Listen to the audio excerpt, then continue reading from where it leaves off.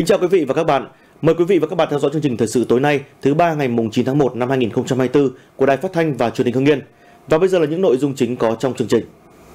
Chương trình xây Tết 2024 với nhiều hoạt động ý nghĩa chăm lo Tết cho công nhân, người lao động. Hội nghị Ban chấp hành Hội nông dân tỉnh lần thứ hai khóa 10. Đẩy nhanh tiến độ dự án đường Tân Phúc Vọng Phan. Tai nạn giao thông nghiêm trọng, hai nạn nhân thiệt mạng.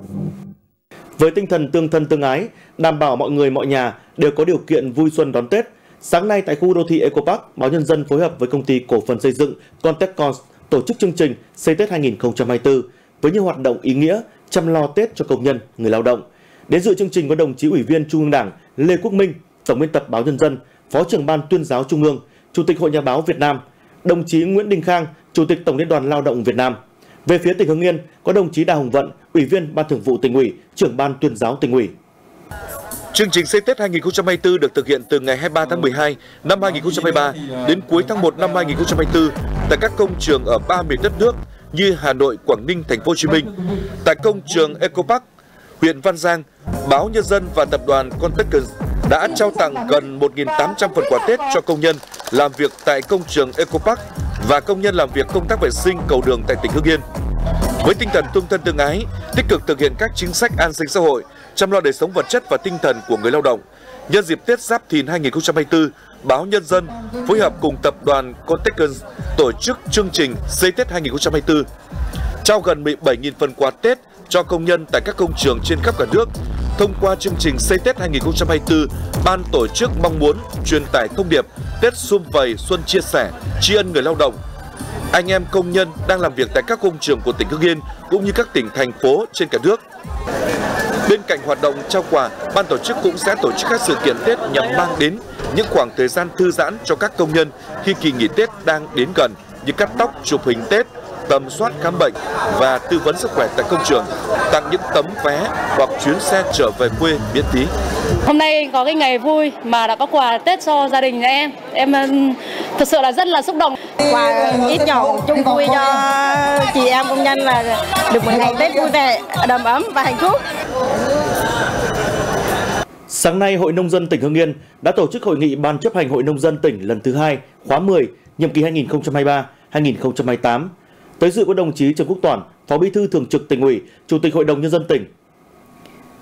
Hiện toàn tỉnh có khoảng 800.000 nông dân, trong đó có trên 210.000 hội viên nông dân đóng vai trò quan trọng trong sản xuất nông nghiệp và xây dựng nông thôn mới. Đến nay, quỹ hỗ trợ nông dân đã đạt được gần 97 tỷ đồng, hỗ trợ cho gần 150 dự án với trên 2.000 hộ vay. Vâng. Hội đã tham mưu tư vấn hướng dẫn thành lập là 88 hợp tác xã và 87 tổ hợp tác trong lĩnh vực sản xuất nông nghiệp và dịch vụ nông nghiệp, đạt gần 150% kế hoạch giao. Hội cũng phối hợp tổ chức 20 cuộc hội trợ xúc tiến thương mại cho gần 200 mô hình nông sản. Nhờ vậy đến nay toàn tỉnh có hơn 60.000 hộ nông dân đạt hộ sản xuất kinh doanh giỏi các cấp. Tại hội nghị đã thông báo kết quả Đại hội đại biểu toàn quốc Hội nông dân Việt Nam lần thứ 7, nhiệm kỳ 2023-2028, chương trình hoạt động chương trình công tác toàn khóa, chương trình kiểm tra giám sát của Ban chấp hành Hội Nông dân tỉnh khóa 10, nhiệm kỳ 2023-2028. Hội nghị cũng nghe tham luận nguyện vọng từ đại diện Hội Nông dân từ 10 huyện, thị xã, thành phố về chương trình hỗ trợ nông dân vay vốn, hỗ trợ nông dân tích cực chuyển đổi từ trồng cây giá trị thấp sang kinh doanh sản xuất nhiều mô hình giá trị cao, Phát biểu tại hội nghị, đồng chí Phó Bí thư Thường trực tỉnh ủy, Chủ tịch Hội đồng nhân dân tỉnh Trần Quốc Toản đề nghị năm 2024 Hội Nông dân tỉnh cụ thể hóa nghị quyết Đại hội đại biểu toàn quốc Hội Nông dân Việt Nam lần thứ 8, nhiệm kỳ 2013-2018, tham mưu với tỉnh ban hành văn bản chỉ đạo nhằm tăng cường sự lãnh đạo của Đảng đối với công tác hội và phong trào nông dân, tiếp tục tuyên truyền, triển khai các giải pháp nhằm thực hiện nghị quyết Đại hội Hội Nông dân các cấp, tích cực tham gia giám sát và phản biện xã hội, nắm chắc tình hình ở cơ sở, kịp thời tham mưu đề xuất hướng giải quyết các vấn đề mới phát sinh. Tôi mong muốn là các đồng chí có giải pháp nào đó để chúng ta nông dân là khá giả và sống một đời? Đúng là cái văn hóa của người nông dân Hưng Yên. Thì thưa đồng chí cái chủ đề mà sinh hoạt năm 24 ấy, thì là văn hóa con người Hưng Yên. Thì đề nghị hội nông dân phải cụ thể hóa là gì? Văn hóa người nông dân Hưng Yên thế nào? Thì bây giờ chúng ta phải phải vươn nhân rộng cái mô hình đó. Và trong tình hình mới này thì không những đấy là phải có trí tuệ có sáng tạo đúng không? Có khoa học kỹ thuật cái thứ hai là tổ chức tốt cho cái việc liên kết sản xuất, thành lập các hợp tác xã và các ờ, hộ liên kết. Tôi nói là nhỏ nhất là hộ liên kết, cá nhân liên kết để sản xuất. Làm ra như thế thì mới tạo được thế mạnh cho cái sản phẩm nông nghiệp của người nông dân hương yên. Đấy. nhỏ lẻ thì không ăn thua người ta liên kết lại. Thế cơ chế liên kết thế nào đấy thì hội nông dân chúng ta đã làm đã có kinh nghiệm. Đề nghị các đồng chí là nhân rộng cái này những cái sản phẩm chủ lực của các huyện các địa bàn này theo cái chủ lực mà mỗi địa phương có sản phẩm ô cốp cố gắng liên kết các hội nông dân các tỉnh với nhau để xem là các sản phẩm của mình có đi được các tỉnh không Tại hội nghị, Ban chấp hành Hội Nông dân tỉnh đã khen thưởng cho hai tập thể và 5 cá nhân có thành tích xuất sắc trong công tác hội phong trào nông dân năm 2013 và ký phần giao ước thi đua năm 2024. Hôm nay, Đại hội đại biểu Mặt trận Tổ quốc Việt Nam xã Nguyễn Trãi, huyện Ân Thi lần thứ 24, nhiệm kỳ 2024-2029 đã diễn ra và thành công tốt đẹp. Đây là đại hội điểm đầu tiên của tỉnh, dự đại hội có đồng chí Quách Thị Hương, Ủy viên Ban Thường vụ tỉnh ủy, trưởng Ban Dân vận tỉnh ủy, Chủ tịch Ủy ban Mặt trận Tổ quốc Việt Nam tỉnh. Trong nhiều kỳ, mà trận Tổ quốc xã đã vận động nhân dân ủng hộ chủ trương giải phóng mặt bằng các dự án đầu tư xây dựng xã hội hóa hơn 2,5 tỷ đồng, hiến hàng nghìn mét vuông đất để làm đường giao thông. Thôn Mão Xuyên được công nhận là khu dân cư kiểu mẫu. Ủy ban Mặt trận Tổ quốc xã đã tích cực vận động nhân dân đóng góp quỹ vì người nghèo, hỗ trợ 39 trường hợp khó khăn, hoạn nạn, ra soát đề nghị các cấp xây mới, sửa chữa 20 nhà ở cho hộ nghèo, cận nghèo. Đại hội đã hiệp thương dân chủ cử 35 đại biểu tham gia Ủy ban Mặt trận Tổ quốc xã Nguyễn Trãi khóa 24 nhiệm kỳ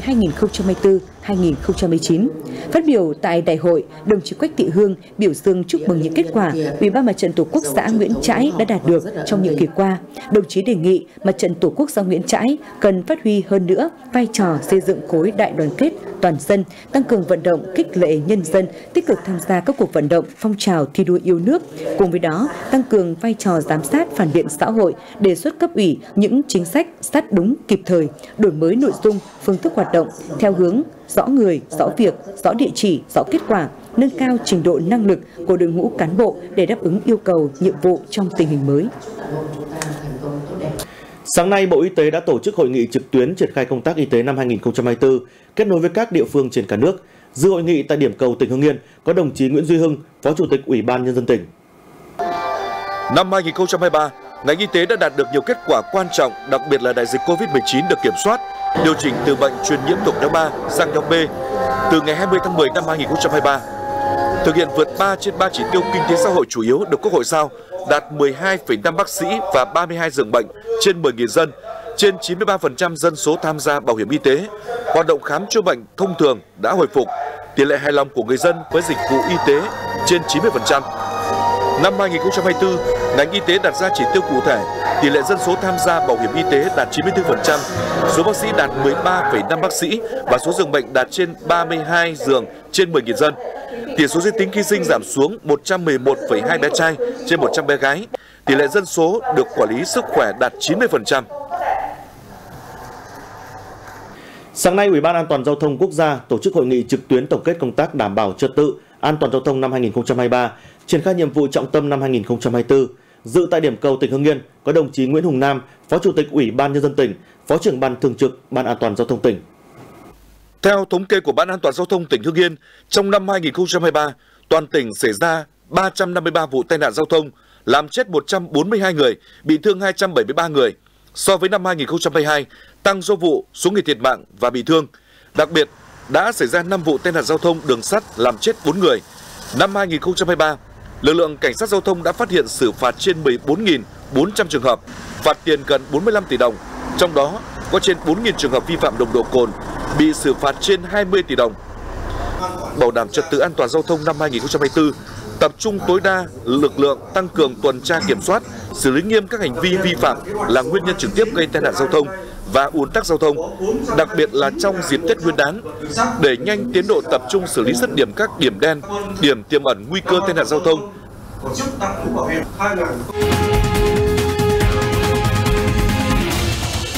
Thực hiện dự án cải tạo nâng cấp tuyến đường Triệu Quang Phục trên địa bàn thành phố Hưng Yên, đến thời điểm này, 100% số hộ dân thuộc diện phải thu hồi đất đã đồng thuận nhận tiền đền bù, giải phóng mặt bằng, bàn giao cho đơn vị thi công.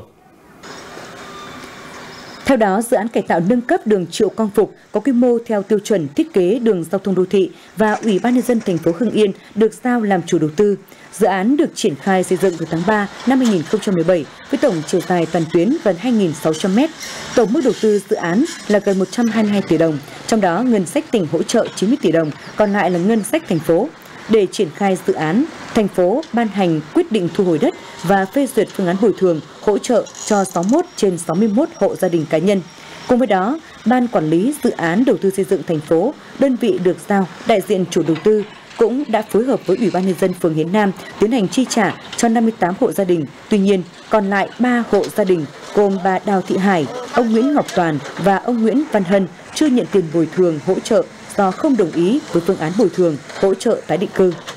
Nhờ làm tốt công tác tuyên truyền, vận động giải thích, đến thời điểm này, cả ba hộ dân đều cam kết tự nguyện tháo rỡ công trình, bàn giao mặt bằng. Để tạo sự đồng thuận cho người dân sẵn sàng di rời đất thổ cư và hoàn thành công tác giải phóng mặt bằng, dự án tôn tạo khu di tích lịch sử Cây Đa và đền La Tiến, huyện Phú Cư đã lên kế hoạch khu tái định cư mới cho 40 hộ dân. Với phương châm, nơi ở mới phải to đẹp hơn nơi ở cũ, khu tái định cư mới cho khoảng 40 hộ do huyện Vũ Cừ làm chủ đầu tư với tổng diện tích trên 7 ha, nằm bên trục đường tỉnh 386, giao với tuyến đường tỉnh 378 tại thôn La Tiến, xã Nguyên Hòa. Đến nay đã thi công đạt 90%. Dự kiến trong thời gian tới, chính quyền địa phương sẽ tổ chức các buổi họp dân thống nhất giá đất và tạo sự đồng thuận của nhân dân, sẵn sàng nhường đất thổ cư cho dự án. Dự án tôn tạo khu di tích lịch sử Cây Đa và đền La Tiến là một trong những dự án trọng điểm của huyện với tổng mức đầu tư gần 270 tỷ đồng, nhằm tôn vinh sự hy sinh của cán bộ nhân dân trong kháng chiến chống Pháp và là điểm đến văn hóa, lịch sử phục vụ tín ngưỡng cho nhân dân, dự kiến sẽ hoàn thành vào cuối năm 2025. Thưa quý vị và các bạn, sau khi trúng thầu gói thầu số 01 dự án đường Tân Phúc Võng Phan, đoạn qua địa bàn hai huyện Tiên Lữ và Phù Cử, sau 10 ngày trúng thầu, công ty cổ phần Lizen đã triển khai 4 mũi thi công đồng thời, phấn đấu hoàn thành dự án trước ít nhất 3 tháng theo hợp đồng. Tổng chiều dài của gói thầu là 12 km,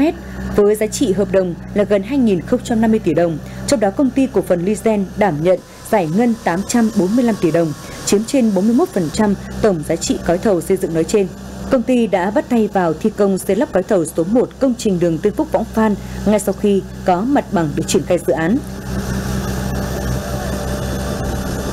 Tranh thủ cái thời tiết thuận lợi này thì chúng tôi quyết tâm là đưa dự án về đích là, là trước 3 tháng thì à, để mà chúng tôi là đạt được mục tiêu đấy thì cũng là, là cái công tác giải phóng mặt bằng cực kỳ quan trọng thì à, các cấp chính quyền là là và tạo điều kiện hỗ trợ các thủ tục để mà đẩy nhanh cái công tác giải phóng mặt bằng để bàn giao mặt bằng thay thạch cho à, chúng tôi à, đẩy nhanh tiến độ. Để đảm bảo tiến độ, đơn vị đã chủ động thuê ruộng, làm ba lối vào ở các điểm công trình để triển khai dự án. Hiện nhà thầu đã nhận bàn giao mặt bằng là 7 trên 12 km nhánh chính và 1,2 km nhánh phụ nối cầu La Tiến. Theo đó, nhà thầu đã bố trí 4 mũi thi công với lượng máy công trình tối đa nhằm săn lấp khi ruộng được đổ ải trong tháng tới. Đường Tân Phúc Võng Phan, giao DT 387 tổng chiều dài khoảng 28 km được thực hiện trên địa bàn của 14 xã thuộc ba huyện là Ân Thi, Phù Cử và Tiên Lữ. Được biết thời gian hoàn thành hợp đồng xây lắp của dự án cuối năm 2025.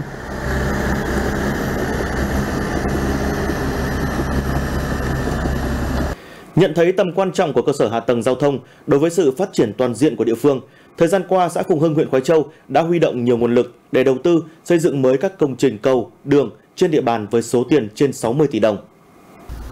Do đặc thù địa phương có hệ thống sông từ Hồ Sài Thị dọc tuyến đường trục chính, nên hệ thống cầu là nút giao thông quan trọng phục vụ nhu cầu đi lại giữa các thôn. Trước thực trạng các cây cầu cũ đã xuống cấp năm 2023, xã đã đầu tư xây mới 4 cây cầu tại các thôn Ngọc Nha Thượng, cầu Tiểu Quan, Kim Quan và Ngọc Nha Hạ.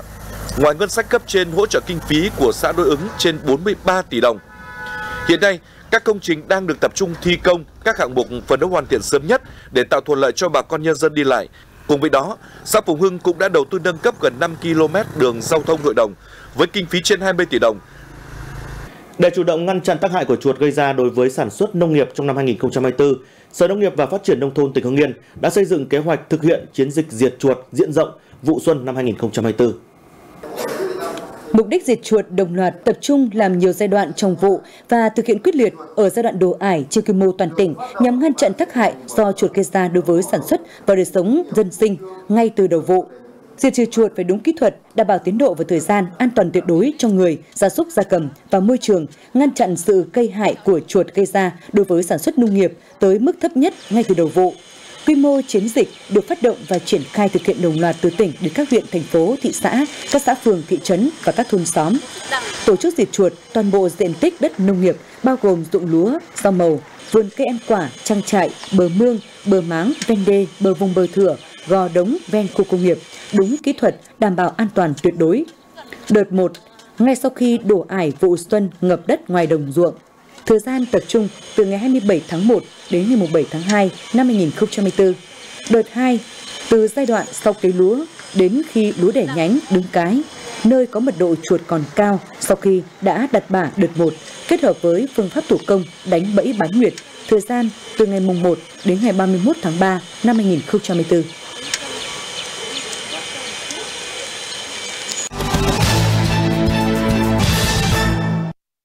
Là lực lượng tri thức trẻ, sáng tạo và đầy nhiệt huyết, thời gian qua những sinh viên đang theo học, nghiên cứu tại các trường đại học trên địa bàn tỉnh Hưng Yên đã mạnh dạn khởi nghiệp với nhiều mô hình hiệu quả. Phóng sự được thực hiện nhân kỷ niệm Ngày truyền thống học sinh, sinh viên và Hội Sinh viên Việt Nam mùng 9 tháng 1.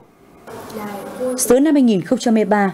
em Nguyễn Thị Huyền Trang, sinh viên năm 3 khoa ngoại ngữ, trường Đại học Sư phạm Kỹ thuật Hưng Yên cùng nhóm bạn đã khởi nghiệp với sản phẩm nấm hữu cơ. Tận dụng những phế phẩm từ nấm hương và mong muốn nâng cao sức khỏe con người, sản phẩm nấm hữu cơ của nhóm em Trang đã đoạt giải nhất trong cuộc thi sinh viên khởi nghiệp trường Đại học Sư phạm Kỹ thuật Hưng Yên năm 2023. Hiện sản phẩm nấm hữu cơ đã được bày bán tại các gian hàng trên địa bàn huyện Quái Châu với giá 70.000 đồng một gói. Như em thấy hiện tại thì những năm gần về đây thì mọi người ăn chay rất là nhiều. Chúng em đã mang cái ý tưởng đó là tạo một sản phẩm nào đó từ chay đi. Chúng em phát hiện ra là cái chân nấm hương ấy được coi là phế phẩm trong nông nghiệp ấy, nó có thể làm giúp nấm ờ, một món ăn có thể thay thế ờ, giúp thịt rất là nhiều. Những năm qua, đã có khoảng 200 ý tưởng khởi nghiệp của sinh viên từ các trường đại học trên địa bàn tỉnh Hưng Yên. Với nhiệt huyết của tuổi trẻ và sự định hướng giúp đỡ của thầy cô, bạn bè, những sinh viên trong tỉnh đã mạnh dạn khởi nghiệp với nhiều ý tưởng hay, mô hình độc đáo để áp dụng vào cuộc sống. Sau khi học một môn ờ, khởi sự kinh doanh thì bọn em cũng ờ, đã được thực hành ờ, để mà có thể tự làm cho mình một cái dự án nhỏ để sau này có thể dựa vào cái dự án đấy mà bọn em sẽ kỳ vọng là cái dự án đấy thành công và đó có thể trở thành là một trong những sự khởi nghiệp của bọn em trong tương lai.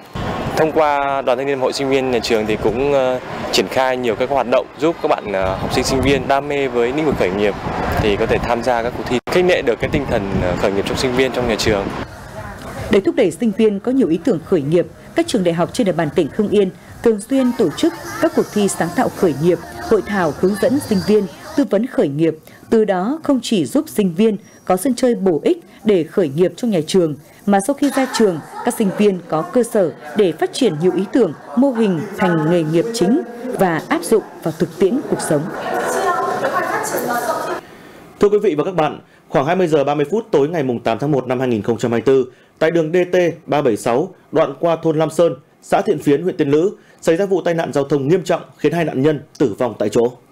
Vào thời gian trên, xe mô tô mang biển kiểm soát 29K162857 di chuyển từ hướng xã Thiện Phiến đi xã Hải Triều. Trên xe có 3 người, gồm Vũ Văn Quang, sinh năm 1997, Vũ Văn Hình, sinh năm 2000, cùng chú tại xã Hùng Cường, thành phố Hưng Yên và Dương Tuấn Tài, sinh năm 1995, trú tại xã Hiệp Cường, huyện Kim Động, hiện chưa xác định được người điều khiển, va chạm mạnh với xe mô tô đi ngược chiều mang biển kiểm soát 89B2 15747 do anh Nguyễn Đức Anh Tuấn, sinh năm 2002, trú tại xã Nhật Tân, huyện Tiên Lữ điều khiển.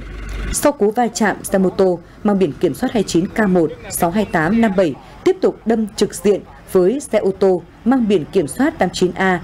09490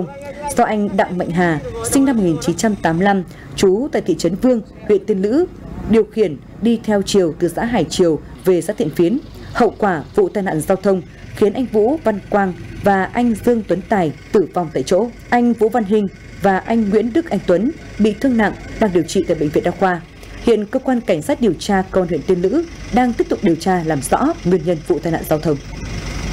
Quý vị và các bạn thân mến, chương trình thời sự xin được kết thúc tại đây. Cảm ơn quý vị và các bạn đã quan tâm theo dõi. Xin kính chào và hẹn gặp lại.